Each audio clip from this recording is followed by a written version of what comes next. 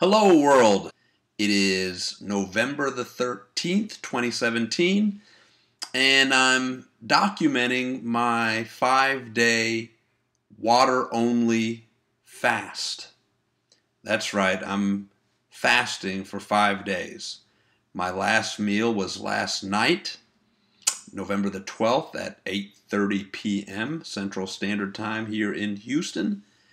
And I decided that I wanted to detox my body. I wanted to give my digestive system a break. And I wanted to create stem cells in my system that will keep me healthy and on track. Uh, I've fasted many times in the past. However, this is my first time ever fasting on a water only diet water only fast. And um, last point I want to share is my weight. Uh, this afternoon I weighed myself at 2 o'clock. Forgot to weigh myself yesterday. And my weight is 232.8 pounds. I'm not doing this to lose weight. I'm doing this to revitalize my health to give my digestive system a break. And it's my understanding that after three days, 72 hours, your digestive system shuts down. And so I'm curious to see how that works. And so this is my first fast where I'm just consuming agua, water. So I'm looking forward to it. I do have some anxiety. I want to be in touch with how I'm feeling, uh, a little excitement. I do have a slight headache right now as well, which is very unusual for me. Um, a healthy male.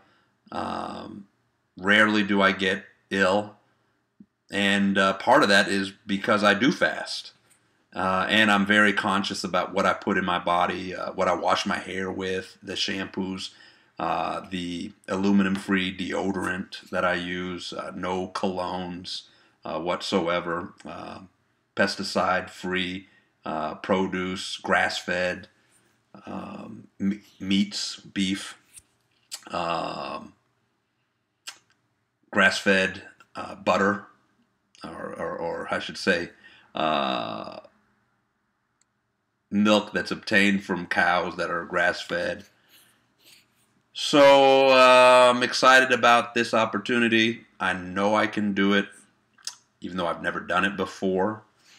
But I'm not a pioneer for water fasting. It's been done many a time, and I look forward to being part of uh, the many courageous souls who are conscious and aware of their minds and bodies and proceeding forward with a fast.